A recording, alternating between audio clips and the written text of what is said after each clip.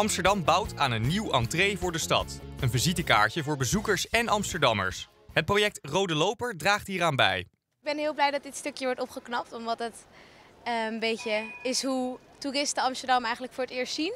Dus leuk als dat wat eh, vernieuwd wordt. Het wordt, eh, nou, het wordt echt veel mooier allemaal. En duidelijker aangegeven ook. Het project Rode Loper is de herinrichting boven het tracé van de Noord-Zuidlijn in Stadscentrum en in een deel van Zuid. We zijn begonnen bij het Damrak in 2013, dat is inmiddels afgerond. Verder uh, gaat het over het Rokin, de Munt, Vijzelstraat, Vijzelgracht en Ferdinand Bolstraat. We staan nu op het Rokin. Dit is onderdeel van het werk Rokin en Munt. En uh, de aannemer is begonnen met het vernieuwen van de hoofdrijbaan vanaf de Dam en het vernieuwen van de gasleiding en de waterleiding en waar nodig ook riool.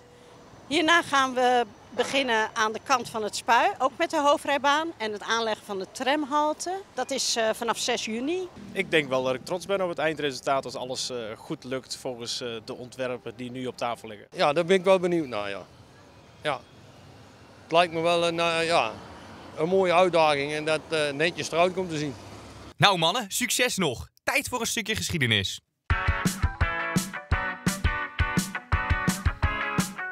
Op de Dam is het statige paleis niet te missen. Het paleis werd rond 1648 gebouwd en diende tot 1808 als stadhuis. Daarna werd het als paleis aangeboden aan Napoleon en werden de galerijen door houten wanden in vertrekken verdeeld.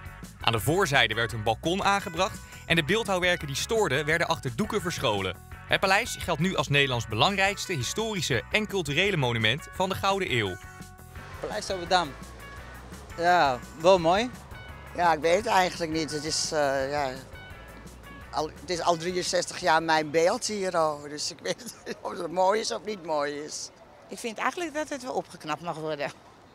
Ik vind het er niet uh, mooi uitzien zo. Wel uh, ja, de kleuren, de symmetrie, uh, ja, toch een mooi gebouw. De prijsvraag van deze week luidt: waarvoor diende het paleis op de Dam tot 1808?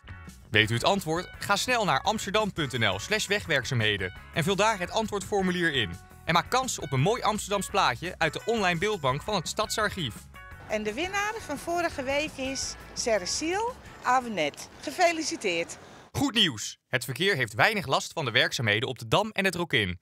De tram rijdt uh, gewoon door over de trambaan. Uh, de auto's die worden misschien een beetje gehinderd, maar het valt tot nu toe heel erg mee. Ze moeten namelijk over één rijbaan hier bij de Dam in plaats van twee. En de verkeerslichten die zijn eraf, dus er wordt geregeld met verkeersregelaars. Uh, voor de fietsers betekent het een heel klein omleidingje richting de Nes. En dan kunnen ze zo via de Dam verder.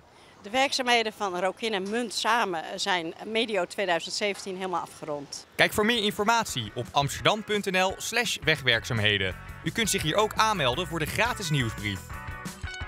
Dat is verkeer. Tot volgende keer.